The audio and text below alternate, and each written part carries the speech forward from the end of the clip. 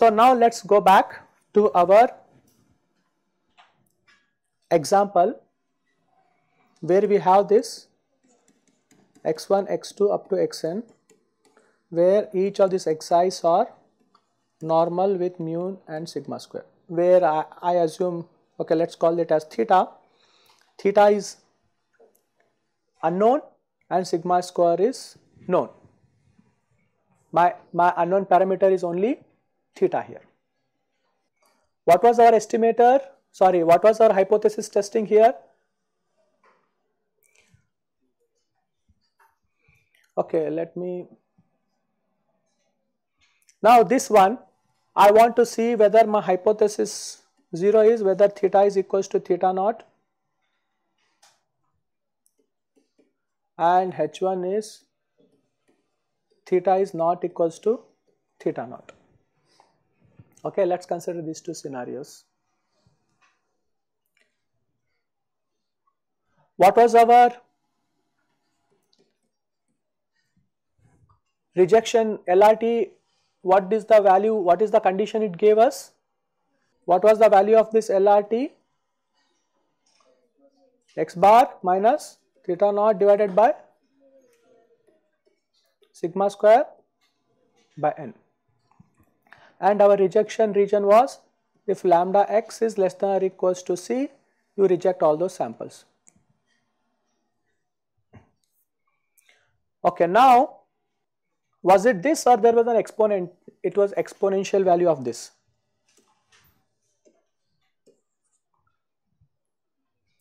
I think this was exponential value of this right.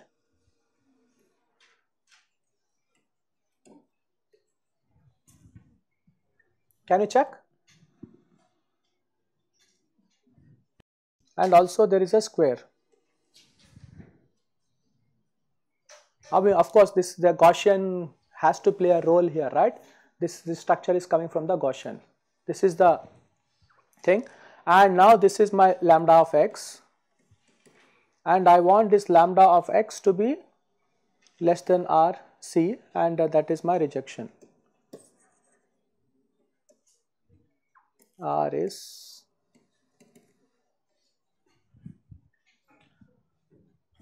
okay. Now what does this translate to? If I have to plug in this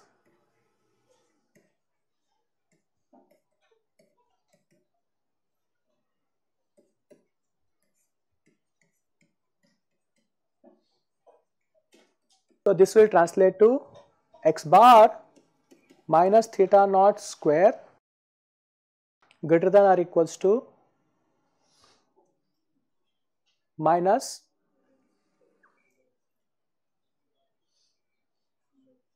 log C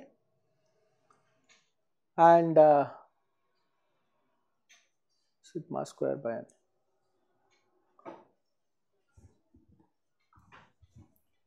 Uh, log c minus maybe sigma square when I'll write like this sigma square by n. That's it, right? Is there a square root here? Can you check? No, I think there is no square root. There was n here and this was like a simply a sigma square.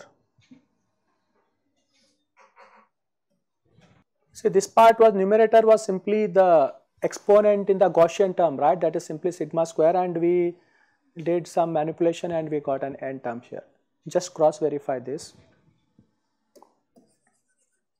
Now this is going to be minus log c and uh, sigma square by n. Sorry, there is also 2 here which I will write 2 here minus. So what is the value of C? What is the range of C here? C 0, 0 to null. We know that this has to be between 0 to 1 because lambda x has is, is a ratio which is always between 0 1. And because log C is between 0 1, we know that log of C is going to be a negative quantity and because of this this whole quantity is a positive quantity. Agree? Okay, now how does this translate to? This translate to x bar minus theta naught, I can write it as to be greater than or equals to minus 2 log of c into sigma square by n. Agree? Which I can further say now this is now x bar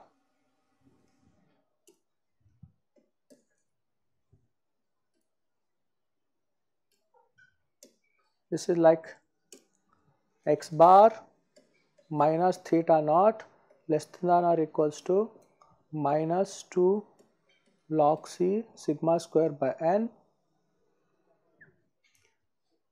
less than or equals to square root of minus of minus 2 log c sigma square by n right? Everybody agree with this computation? Now what i will do is x bar minus theta naught i will get this sigma square by n from both sides. Now this is going to be minus of 2 log c and minus of minus 2 log c. And as always we know that this is going to be distributed what so, I am going to write this is going to be minus 2 log C minus of minus 2 log C. Agree? Now, see that it is kind of giving me already some range here. What I am doing is, so what I am going, this is going to give me, if this condition holds, if my x bar is such that x bar minus theta is going to lie in this interval, I am going to accept that x bar to coming from parameter theta naught or no? This is basically rejection region, right? I have basically translated that rejection region into this interval here okay. So, if my x bar, so if this x bar right now I do not know uh, this uh, x bar let me just put it in terms of x bar is now this is going to be theta naught plus minus 2 log c sigma square by n this one theta naught minus minus 2 log c. Right? Okay maybe I will just get rid of uh, this sigma square by and here anyway. This is uh, mm, these quantities are known and uh, this is like uh, so there is going to be sigma square by n here sigma square by n here and another sigma square by n. Huh? What happened? This one? So I have taken theta naught this side, right? That is fine. And uh, then theta naught also this side. What is the issue? I am not getting. No, this is correct, right? This is correct. When I remove the modulus, this is correct. No? Okay, let's uh, do this when, okay, suppose let's say when this is a positive quantity, okay, you are saying this should be there and when it is a negative quantity, okay, let me write it. Okay, let me write this. This quantity, whenever this suppose this quantity happens to be positive the equality remains like this. Minus 2 log c sigma square by n. And when there is a negation of this I have to take negation both sides. This is like x bar minus theta naught. And uh, so this is going to be less than or equals to minus of minus 2 log sigma square by like this. And now because of this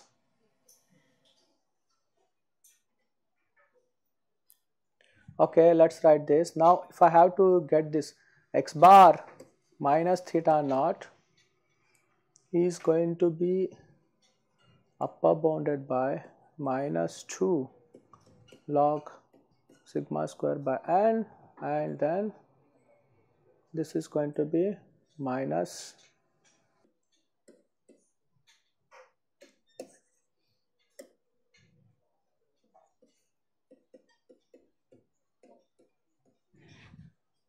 but see there is a issue here right something is wrong we know that 2 log c is going to be negative quantity minus 2 log c is going to be a positive quantity. So, this entire thing this entire thing is a positive quantity, but now this entire thing is a negative quantity. How can this happen? Okay, fine. Let's do that.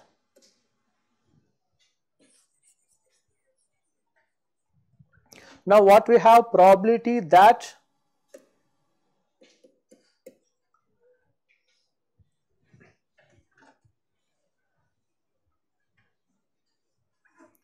x bar equals to this and this. Now, how you are going to write this?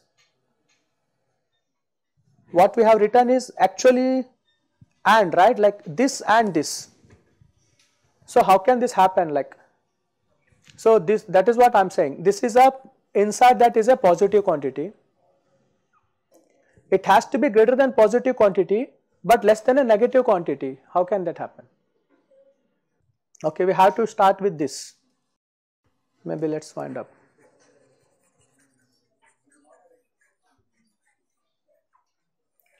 So this is the condition we have, right? And we know that, okay, this x bar minus theta naught, we know this has to satisfy. How you are going to define in terms of the intervals, now we have to work out. This is true. With this, is this true? if this is x bar minus 3 this happens to a positive quantity this either this or this has to happen. This is or this is not an AND condition okay.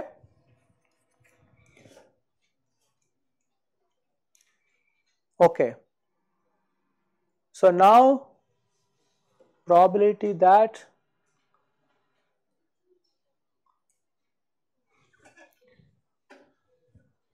okay now how we'll write it x bar minus theta naught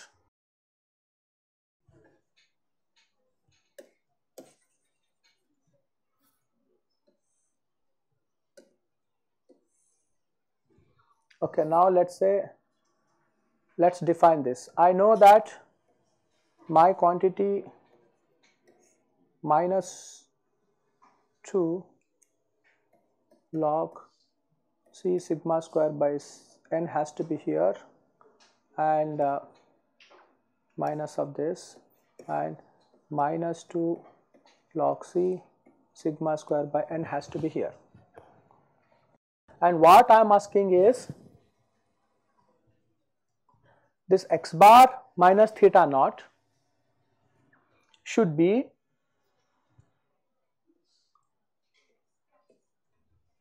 greater than this and less than this. Okay? Whenever my x bar minus theta naught is so happening whether it is falling in in this region or this region what I am going to do I am going to reject and I am going to accept whenever it is going to be in this region Okay, so let us focus on that acceptance region. I think that is where the confusion came. We were not interested, okay, now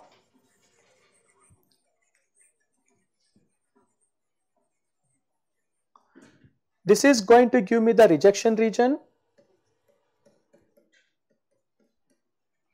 and if I have to get the acceptance region then this has to be x bar minus theta naught has to be less than or equals to minus 2 log c sigma square by n and minus of minus 2 log c sigma square by n. So, this is the rejection and this is the acceptance region.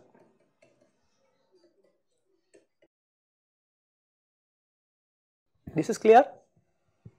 Now, I am going to call it as A this region all the x x's such that x bar minus theta naught. So, maybe now I can take that theta naught on the other side. Whenever this x bar is such that it is theta naught plus minus 2 log c sigma square by n and uh, theta naught minus of minus 2 log c sigma square by square by n this is going I am going to accept that. Okay, now this is for a given theta naught, right? Theta naught is fixed and for that parameter I am trying to define this acceptance region and I am going to call it as A of theta naught. So, whenever my sample is falling in this region that x bar minus theta I am going to accept it. Now the question is, uh, is it possible for us to translate this into the confidence interval? Okay, so we will discuss that in the next class, but first thing we need to note here is that does it matter what particular theta 0 that we are looking here? This could be any theta. Okay. So, for any theta, I can look for such conditions and this is what the rest of the things remain the same and this is what we will use to come up with our confidence interval that should work for any given sample x. Okay, so we will continue that in the next class.